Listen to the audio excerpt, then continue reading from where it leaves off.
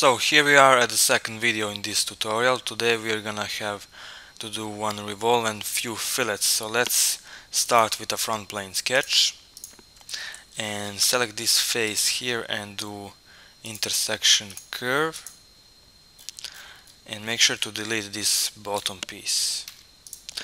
Let's bring back the front view and we start with a line that goes from this point right horizontally, switch to arc by pressing A and finish with a line. Make sure also that these are tangents.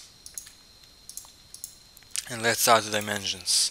We're gonna have 600 radius here. And from this point till this one we have 58.5 this line is gonna be 46 this line is not gonna have dimension so let's leave it like this. Let's offset and deselect this option select chain and select these three lines. Dimension is gonna be 4.5 and direction is top so reverse. Now uh, let's add few lines here I'm gonna extend this one just slightly. So we go vertical horizontal vertical horizontal vertical narrow and we need a line from this one like this and finish with arc in this point. So make sure that these two are, are parallel. Uh, here the radius is gonna be 7.5 at this line dimension is 6 this one as well. We go uh, from let's add here dimension actually. It's gonna be 11.5 from this line till this uh, center point of the arc we have 31.5 vertically from here we have at 22.25 this line is 14.75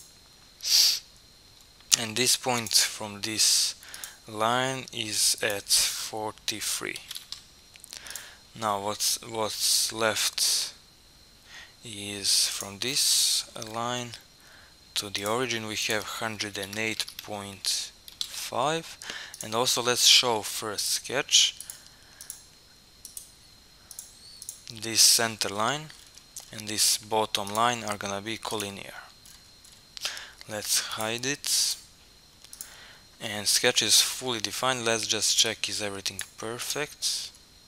Yes it is. So we can go out. And I haven't drawn the center line because we're gonna use the axis. That's why it's here so do a revolve? Selected contours of course this one. And why it's showing like thin feature. Let's see is everything fine? Deselect thin feature of course. And merge results so we want to connect this new body with previously done. And yeah everything is perfect so like I said for this video we have just a few fillets to do and that's it. So fillets the first one is gonna be radius 15 it's this edge here. Second one is R5 and it's gonna be on this face here third radius, I mean fillet, is gonna be, be 7.5 on this edge. Next we have 2.5 uh, and it's for this edge. The last one is radius 1 it goes on this edge. So that's it. There are few lines that are not having fillets but that's how it should be because you'll see later why it's why I did it like that. So as you can see we have this main profile done. In next video we're gonna do the profile from this side that is gonna make that is gonna serve us to make spokes. And for you you should just check uh, your dimensions. If you did everything right you should have from this face till this one. As it says here 245.75 and just check diameter here should be uh, 482.6 so that's 19 inches in inches. And yeah I didn't I have I failed to to note that this wheel is the 19 inch one.